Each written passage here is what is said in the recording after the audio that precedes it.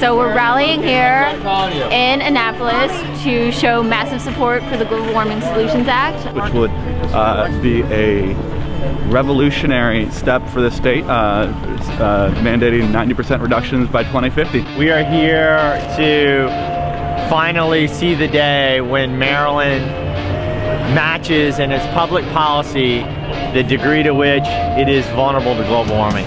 Um, hopefully this whole area will be uh, completely packed with people. 500 people hopefully will come. We're expecting three to 500.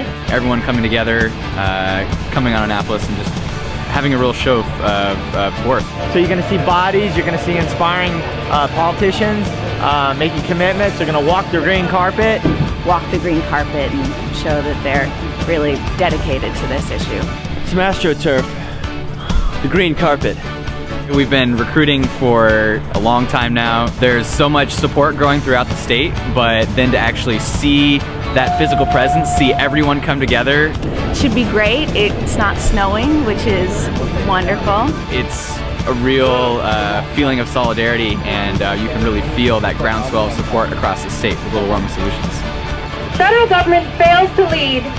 States have no choice but to step up and act. We're going to pass this bill this year. What other movement in Maryland, in the snow, in the cold, can turn out this many people for an issue? One of the most important pieces of legislation in the United States of America. We're not going to rest. We're not going to stop. You have to make a difference because we cannot do it without you. Now, if there's any sand left, people who can put their head in it and I have never been more inspired in this movement than to stand here in a virtual blizzard and see all your faces.